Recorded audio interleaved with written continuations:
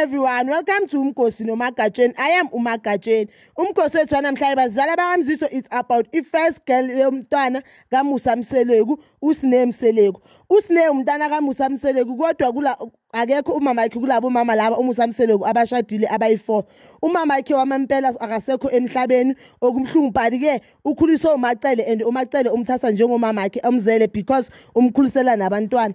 Usine mseleku unabantwana abayi2 emhlabeni engathi i'm not sure whether banobabe one but i think banobabe one because on the previous season ngambona introduce ubababo ubakumusa mseleku usine wathola abantwana angakashadi and engathi uthole ifirstborn yakhe asesemncane.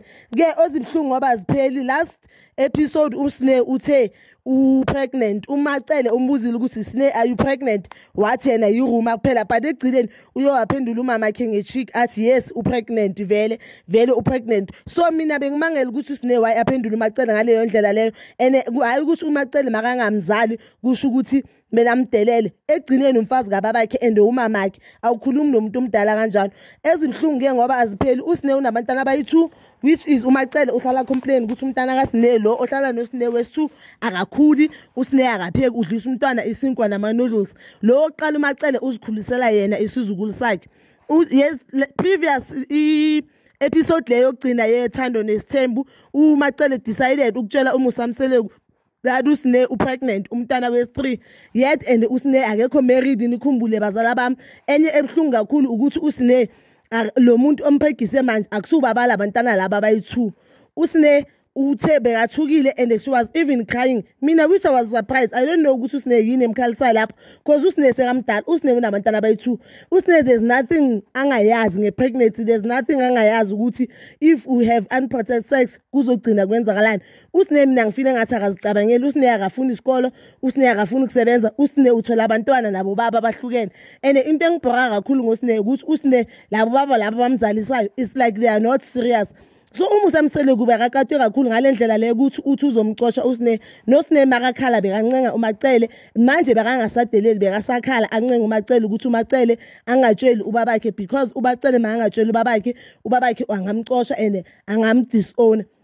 Uma usamseleku uvumile ukuthi yena ngeke asamnika imali yakhe usine and mina waso surprised ukuthi usine kanti bamnika ne-allowance.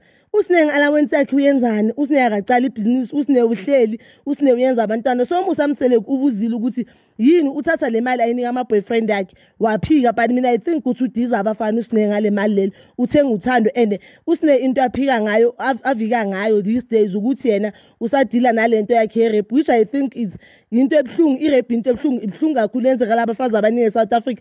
But leyo ayimniki i-right usine ukuthi ahamba alala or adlalisa ngabafana. I mean like usine ubabakhe anga-afforda any course afuna ukuyenza or anga-afforda any business afuna ukuyicala so people on twitter they were saying usine no mpumelelo kamayeni bayafana because nompumelelo uthola umntana omncane. Guys mina my opinion i don't think bayafana. Umpumelelo into yokucala uyi-soccer play. Umpumelelo uyi-dj umpumelelo is into businesses. So umpumelelo is doing something ngempilo yakhe even if athola umntana omncane. But uyatshengisa ukuzisola and uyatshengisa ukukhula ngapho uyatshengisa ukushintsha usine bekathuke kamampela and she was also crying. Mina if i-others engizoyini usine usine maceda ukuthwala umntwana usine makabuyele esikoleni afunde or afune umsebenzi because ayikho indaba kasine ukuthi uzophika ngokuthi ubabakhe umseleku that is all for today bangani bami please watch uthando nesem and please comment down below what do you think? Do you think usine vele uyenza ulokuthi akanamama akatholi uthando lokwamama? Or nje usine uyakanga? And please don't forget to like and subscribe. Nginithanda ukuya nokubuya.